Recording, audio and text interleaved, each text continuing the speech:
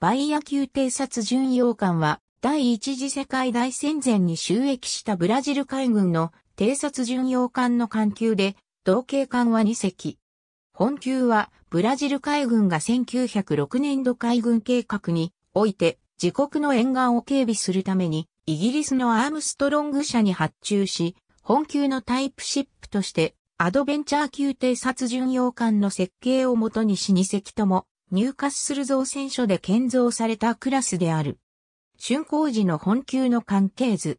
本級の船体形状は朝鮮四郎型船体である。還元の低い艦首から艦首甲板にアームストロング 12cm 速射砲が棒立てのついた単装砲画で並列で2機配置、司令塔を組み込んだ、ソーダ環境と簡素な短脚式の全部マストが立つ。船体中央部には2本煙突が立ち、その周囲にはキセル型の通風塔が立っている。煙突の周囲は関西艇置き場となっており、2本1組として、片弦4組ずつ、計8組のボートダビットにより運用された。原則部には 12cm 速射砲が、片弦3機ずつ6機配置された。2番煙突の後方の原則部の艦内に設けられた発射管室に 45cm 魚雷発射管を単装で片弦1機ずつ計2機を搭載した。使用しないときは発射管室はシャッターで波浪から守られた。後部甲板には後部マストと 12cm 単装速射砲が後ろ向きに並列で2機配置された。1920年代に撮られたリオグランデドスル。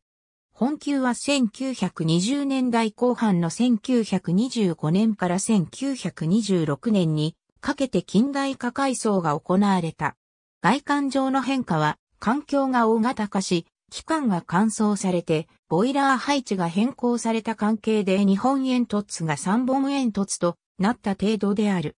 武装面においては 4.7cm 速射砲2機と 45cm 魚雷発射管2機が撤去され、代わりに対空火器として 7.6cm 高射砲を単装砲画で2機と 53.3cm 連装魚雷発射管が追加された。近代化改装後のバインヤー。手法はアームストロング社の新設計の1895年型 12cm 速射砲を採用している。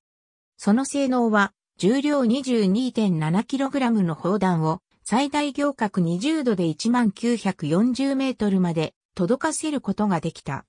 砲画の不行能力は行角20度、深く10度である。さらに、旋回角度は360度であったが、実際は上部構造物により制限を受けた。砲の旋回、方針の上下、砲弾の装填の動力は人力を必要とした。発射速度は毎分10発である。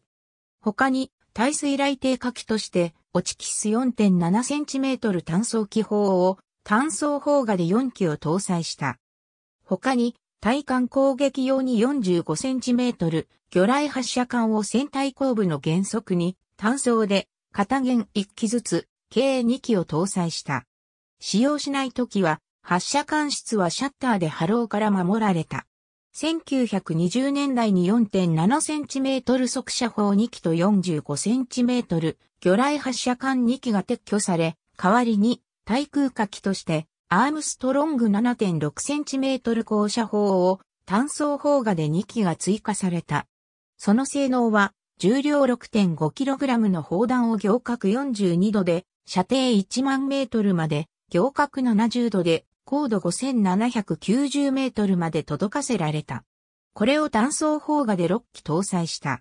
不要能力は行角75度、深く10度である。旋回角度は360度であったが、実際は上部構造物により社会に制限を受けた。方針の不良、砲塔の旋回、砲弾の溶弾、装填は主に人力を必要とした。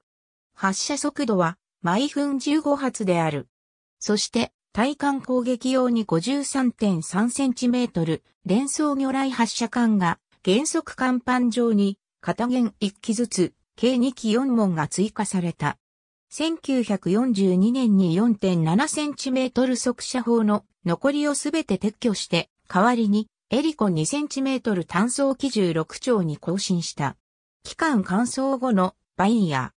本級の機関は、ヤーロー式石炭専焼水管缶12基に、パーソンズ式直結タービン3基を組み合わせ、バイーアは、公試において、最大出力2万10馬力で、速力27.02ノットを、リオグランデドスルは2万2830馬力で27.41ノットという俊足を発揮した。